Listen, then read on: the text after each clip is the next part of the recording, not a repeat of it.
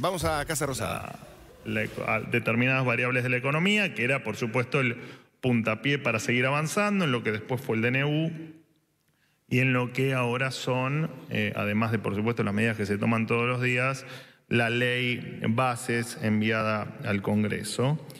Y lo cierto es que desde que los rumores en virtud de la ley, que formalmente empieza el debate hoy, pero que hasta ahora son rumores de algunos desacuerdos con algunos puntos de la ley, y los amparos con el DNU generaron, por supuesto, que el dólar en poquitos días, los dólares financieros, para hacer números redondos, salten de los 900 pesos a los 1.200 pesos. Hoy la responsabilidad, nosotros hacemos nuestra parte, nuestra parte la estamos haciendo y necesitamos que la política haga su parte. Nosotros sabemos y estamos convencidos de hacia dónde vamos si la ley se aprueba. También estamos convencidos hacia dónde vamos si la ley no se aprueba. Y el que se apruebe o no se apruebe la ley depende exclusivamente del Congreso Nacional y de la política que allí está representada.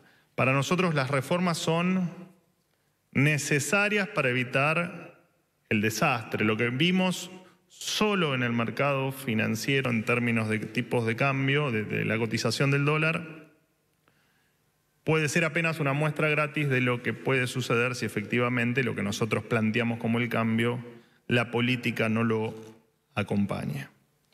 Hoy, en, en- en virtud, del, como les decía, del comienzo del debate de la ley, hoy van a hacerse presente en el Congreso el eh, ministro de Justicia, Mariano Cuño Libarona, y el secretario de Energía, Eduardo Chirilo, quien van a comenzar con las explicaciones que los diputados crean pertinentes.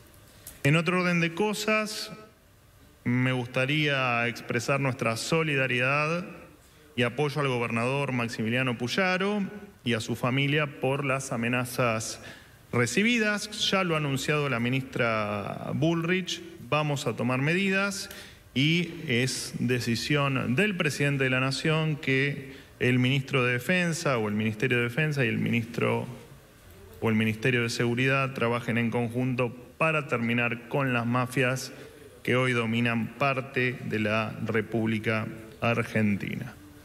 En el día de ayer, por la tarde, hubo algún Bueno. comentario de, un- de una periodista en relación a un El, el detalle vocero sobre Manuel Adorni eh, la se refirió mudanza. a la situación de Puyano. Exactamente, Guille, y ya tenemos la novedad de que la ministra de mm, Seguridad, Patricia Bullrich, tomará cartas en el asunto.